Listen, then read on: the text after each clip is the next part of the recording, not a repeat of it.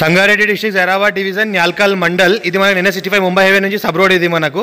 Thirty three feet map road దారి ఇది మనకు. Thirty three feet map road దారికి మనకు టెన్ గుంట ల్యాండ్ సేల్కి వచ్చింది మనకి ఇది. ఎయిటీన్ లాక్స్ చెప్తున్నారు. లైట్ నెగేషన్లో అయ్యే అవకాశం ఉంది. ఏదైతే మనకు ఫెన్సింగ్ వేసింది ఉన్నదో మన ల్యాండ్ ఇది.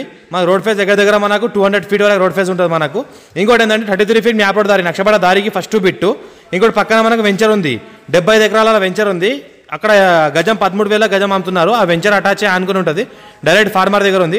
ఇన్వెస్ట్మెంట్ కోసం అగ్రికల్చర్ కోసం చిన్న farm house purpose guest house purpose ఎవరైనా పెట్టాల్సుకుంటే పెట్టొచ్చు. లివింగ్ పర్పస్ కూడా పనికి వస్తుంది. ఫ్యూచర్లో ఏంటంటే పక్కన మొత్తం కమర్షియల్ ఏరియా అవుతుంది కాబట్టి రెసిడెన్షియల్ ఏరియా అవుతుంది కాబట్టి వెంచర్ మొత్తం రెసిడెన్షియల్ ఏరియా అవుతుంది కాబట్టి మన ఇంట్లో కూడా లివింగ్ పర్పస్ కూడా పనికి వస్తుంది మనకు. నియర్ బై నిమ్స్ ఏరియాకి అటాచ్ అయి ఉంటుంది. అనుకుని ఉంటుంది. మా ఛానల్ని ఫస్ట్ విజిట్ చేసిన వాళ్ళు సబ్స్క్రైబ్ చేసుకోండి. మరిన్ని లోకస్ట్ వీడియో పెడతా ఉంటాము. చూస్తూ ఉండండి. మరి షేర్ చేయండి లైక్ కూడా వేసుకోండి. మీ ఫ్రెండ్స్ కూడా సబ్స్క్రైబ్ చేయండి. షేర్